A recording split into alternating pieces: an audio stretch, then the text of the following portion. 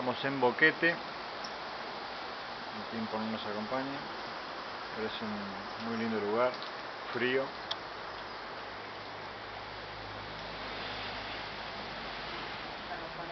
Paneles solares.